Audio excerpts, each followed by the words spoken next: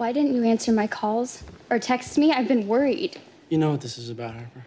You acted like you found this project for me when all along it was about you. It's because of me that your mother is not producing Redemption Ridge. I did that for you. Then prove it. Sign over the rights to me. Why? I had an epiphany in New York. I turn to alcohol when I feel like I've lost control in my life.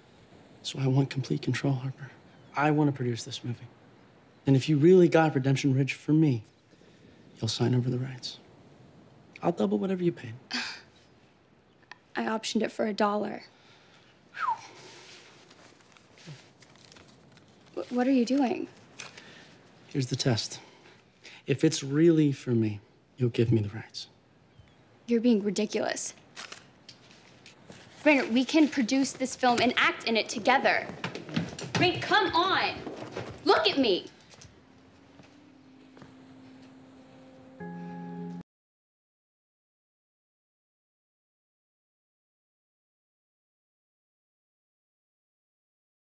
I really don't know what you're waiting for. Subscribe right now. You just gotta, you just gotta do it. You just gotta subscribe. Just You know just, you want to. Just do it, please. Yes. Please. press the button.